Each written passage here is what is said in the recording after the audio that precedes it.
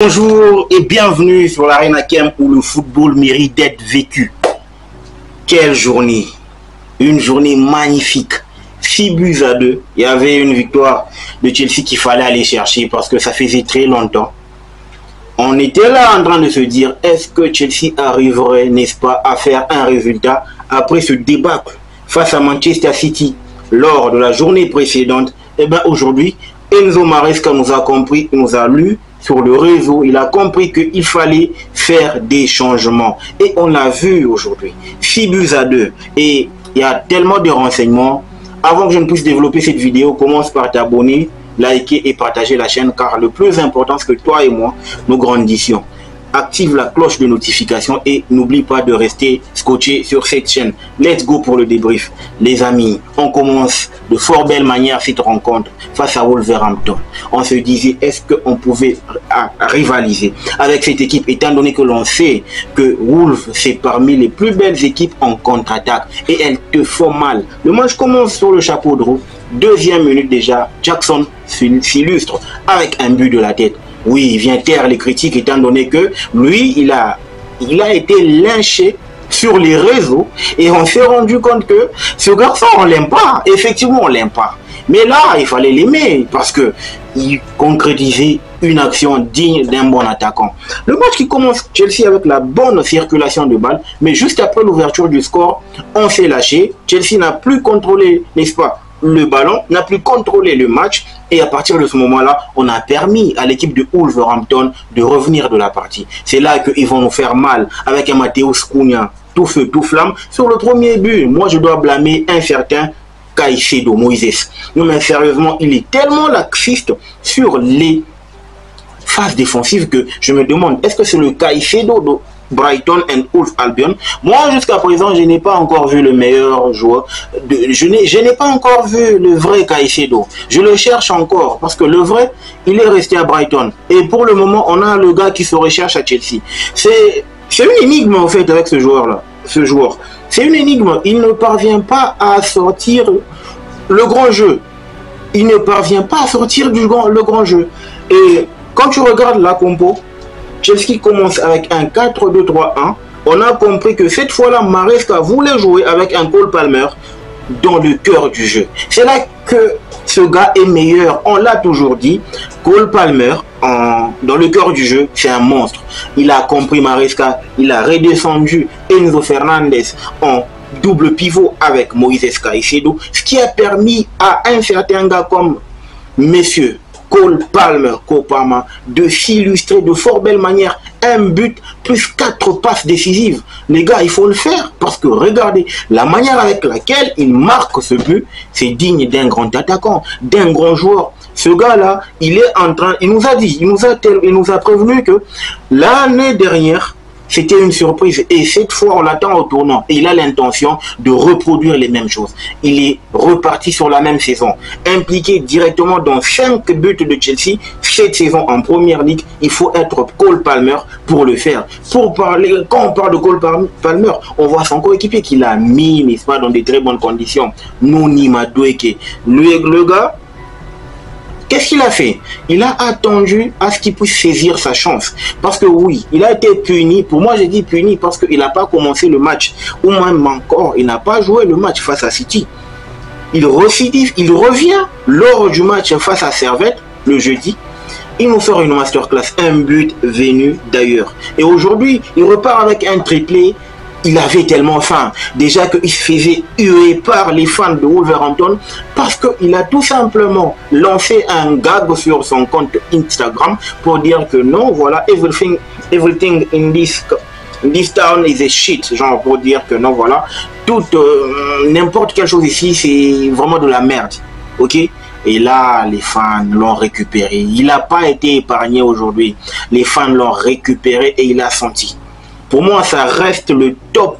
Euh, ça reste vraiment une top performance. Mais seulement, je sais qu'il a marqué. Là, vous allez me dire, Roland Manevich, t'es méchant. Non, je suis pas méchant. Je ne suis en tout cas, pour cette fois, je vais prendre mon trophée homme du match et le donner à Cole Palmer. Pourquoi je dis ça? Il est le gars qui est impliqué dans 5 buts.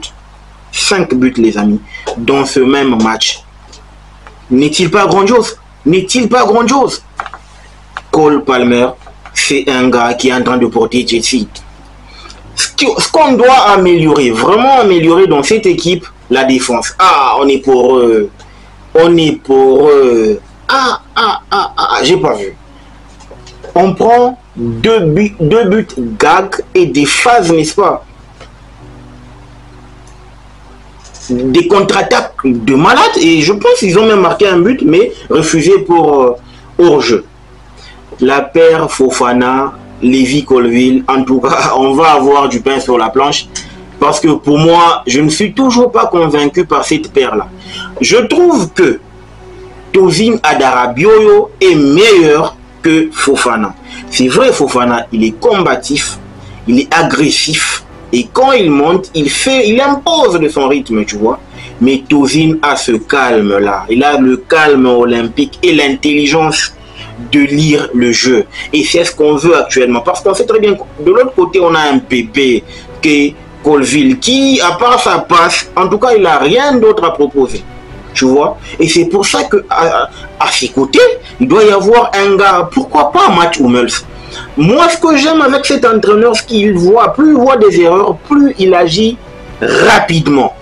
Et pour une fois, on a un entraîneur qui lit le match rapidement et il prend des décisions très rapidement. Et ça, c'est parmi les choses les plus bénéfiques que va bénéficier cette équipe de Chelsea durant toute cette saison. Parce que remarquez, remarquez Moudric, il parvient à réaliser une piètre performance. On revient en deuxième période, il est remplacé. Ça, c'est un entraîneur qui a la main mise sur son groupe. C'est un entraîneur qui a la main mise sur son effectif. Il agit rapidement. Il faut savoir que Moudric, il faut qu'il mette en, tête qu'il n'est pas en train d'évoluer sous les ordres de Mauricio Pochettino. Là, c'est Enzo Maresca. C'est un gars qui badine pas. Parce que le gars, il veut être tellement focus sur ses idées qu'il va pas te donner, n'est-ce pas, ce champ libre, ce temps-là de faire des erreurs et il te tolère. Il va pas faire ça. Il est là pour les résultats et il agit rapidement. Ça fait que deux victoires en une semaine pour Chelsea. La mayonnaise, elle est bonne. Pourquoi? Parce que, à part, mis à part les lacunes défensives en première ligue, là, on repart quasiment sur 6 points en deux matchs. C'est bon pour la conscience du groupe, c'est bon pour la morale du groupe. Il faut noter que actuellement, moi je pense que Chelsea a juste besoin d'un gars derrière qui va bien assurer. Et actuellement, Matt Hummels, c'est vrai, c'est pas le plus rapide du monde. C'est peut-être pour ça qu'ils veulent pas aller le chercher, étant donné que la première ligue, elle est rapide. Mais c'est le gars le plus stable et le plus, n'est-ce pas, cool. Dit cool dans la technicité et pas cool dans son mood. Le gars le plus euh, propre dans la relance, dans la gestion, n'est-ce pas, de la défense, c'est un gars qui guide facilement la défense. Moi, je l'aurais pris pour compenser au départ de Thiago Silva. Parce que oui, il nous manque. Tu peux pas te permettre de lâcher Thiago Silva pour avoir ces baby blues qui font des erreurs. C'est bon, on peut prendre en charge les jeunes attaquants, les jeunes pousses mais on ne peut pas prendre les jeunes défenseurs parce que la défense, c'est même ça la base, la pierre angulaire d'une équipe.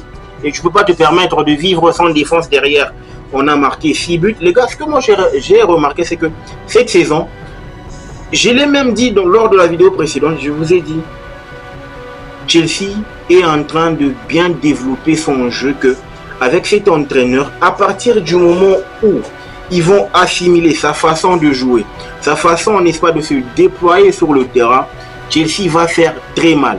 C'est bon, à cause de notre défense, on sera peut-être pas face aux grands, face aux gros cylindrés. C'est bon, je le concède. Mais franchement, retenez bien ce que je vous dis. Face aux petites équipes, en tout cas, ils vont se faire trouer. Ils vont se faire marcher dessus. Ils vont se faire, ils vont se faire massacrer. Parce que quand tu as un quatuor offensif composé de Jackson qui est versatile, Kopama qui est versatile, Madweke qui est technique et un certain gars comme Nieto qui prend toujours des bonnes décisions. En tout cas, moi je pense qu'ils vont avoir du pain sur la planche et ça va te faire très mal. Les amis, corrigeons la défense et améliorons certains aspects, surtout au niveau de latéraux. Mention spéciale également à Vega. Je pense que ce gars est en train de prendre du galon. Kukurea a des soucis à faire parce que Vega, il n'est pas venu pour faire la banquette. Hein.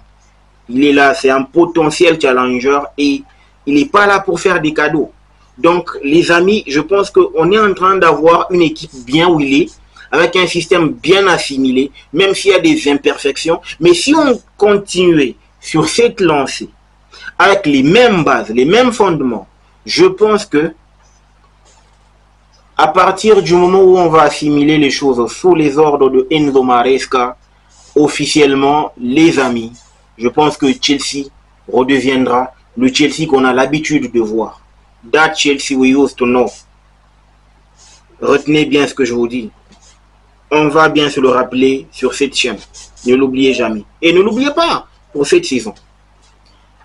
Trois points en poche, on se relance. Huitième, si je ne m'abuse, pour la première ligue. La semaine prochaine, on joue un promu, si je ne m'abuse. On joue un week-end pour clôturer, n'est-ce pas, le mois d'août et repartir dans un calendrier dans la journée FIFA c'est de bon augure pour la morale du groupe, pour, n'est-ce pas, les, pour asseoir ses idées. On va bien respirer, on se repose demain et on repart le mardi pour les entraînements afin de bien préparer la rencontre de la première ligue, la rencontre face à Servette. Pourquoi pas se qualifier directement pour les phases de groupe et entamer la Barclays English Premier League. N'oubliez pas de vous abonner, de liker, de partager la chaîne. Le football mérite d'être vécu. Ciao